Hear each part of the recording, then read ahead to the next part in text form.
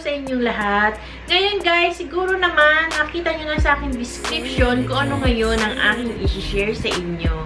Uh, matagal ko na rin siyang ginagamit guys dahil nung una, hirap na hirap ako maghanap kung ano ba yung pinaka-the best na pampatanggal ng makeup. So, lahat ata na-try ko na. Yung iba talaga namang magaganda. Pero, meron pa rin siyang naiiwan na mga konting makeup sa aking balat. Dahil hindi mo naman masasabi kung talagang natanggal na siya ng gusto. Lalong-lalo na guys, yung mga ginagamit ko din ng mascara na napakahirap niyang tanggalin. Uh, yung waterproof, kala mo natanggal mo na siya. Pero once na hinawakan mo yung pilik mata mo, meron pa pala siyang naiiwan. So, ngayon guys, meron ako natuklasan kung ano yung pinaka-the best na pampatanggal ng makeup. So, ito siya guys. Ipapakita ko sa inyo. Ayan siya. Ito yung Garnier na Micellar Oil Infused Cleansing Water. So guys, ito siya. Kung makikita nyo guys, itong kulay dito sa taas. Ayan yung oil niya. Ayan. Yan dito. Ito yung oil at ito yung pinaka-water. So, imimix mo lang siya ng ganon para mahalo siya. At mapapansin nyo guys, yan, meron siyang mga bubbles-bubbles dito. Kung mapapansin nyo. Ayan. Kung makikita nyo guys, yan dyan. So, itong Garnier Micellar, uh, Micellar, Micellar Oil, Oil Infused Cleansing Water. Dito siya, uh, for all types of skin siya guys remove waterproof makeup, plus cleanses and nourishes. No rinse off. Pwede siya sa face, eyes, lips, at hindi siya malagkit sa balat. So guys, bali pangalawang bottle ko na to. At talaga naman mai-recommend ko siya sa inyo. At talagang matatanggal niya lahat ng aking makeup na nilalagay sa aking mukha.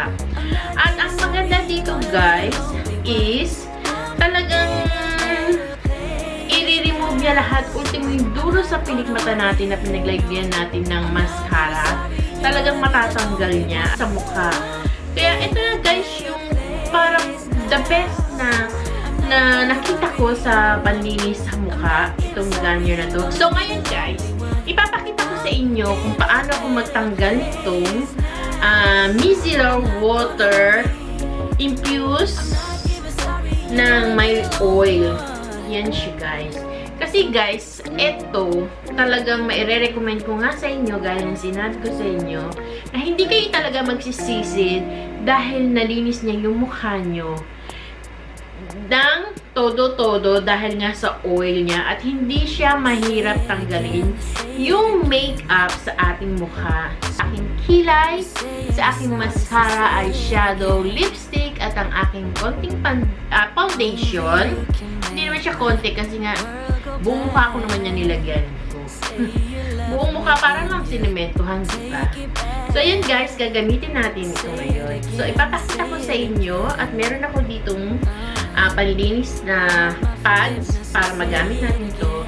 So, ito guys, bagong bili ko pa lang siya at hindi ko pa siya ulit nabubuksan dahil nga gaya ng sinabi ko, uh, pangalawang bottle ko na siya. At so, ngayon, ipapakita ko sa inyo. So, ito nga ang solusyon ng paglinis ng ating mukha. So, ngayon guys, ipapakita ko sa inyo kung paano ko tatanggalin itong aking makeup nilagay ko ngayon sa aking mukha. At gagamit ako nitong pads ng pang-alis ng makeup para makita nyo guys.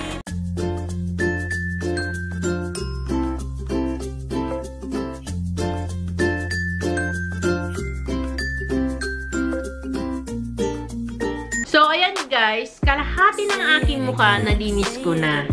Hindi siya malagkit at napakabang, napakaganda niya at sobrang bango niya guys.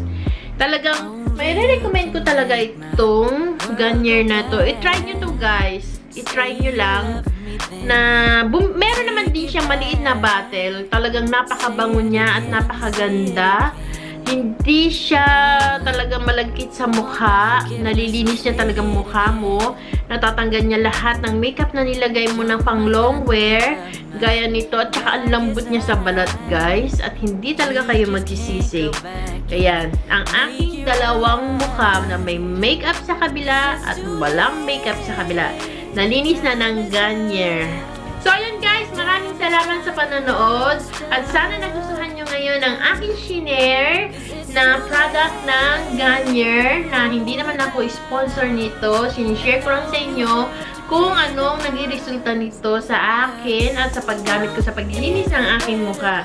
So, maraming salamat guys sa panonood. Kung hindi ka pa nakapag-subscribe sa akin at bago ka pa lang sa aking channel, ano pang hinihintay mo guys? Mag-subscribe ka na sa aking channel at pindutin mo na ang red button para ma-notify ka sa lahat ng aking bagong video i-upload.